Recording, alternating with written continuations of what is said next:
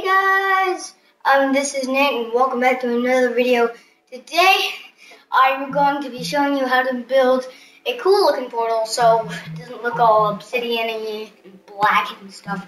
So let's get all the rest of the stuff I needed before we start building. So this is all, you can, you can use any kind of wood also. And it doesn't really matter, so let's build a portal that. Okay. Hey. You'll never know. Okay. Okay, I don't have to tell you that. Um, no. You don't really need to light it yet. And then you have to cover up your whole portal. Because, yeah. Um, you may do some, a few mess ups. I would rather putting the bottom of the portal under the ground because then you will have to jump in or something.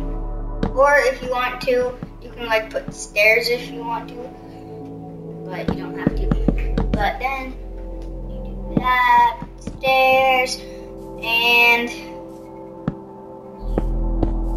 no, no, I messed up. I messed it up. Uh, messed it up already. Sorry I failed you guys. Just kidding. I did not fail. You will never be failed by the awesome Nate. Yep. What am I doing? Ah! There. Maybe, maybe weird because I'm just being now. Just messing around and stuff. So, let's do this. Stairs again and blah blah blah. Um. Oh. oh um. Sorry. Sorry if you're watching this video. I'm pretty loud. I'm a loud person. Kind of. And this.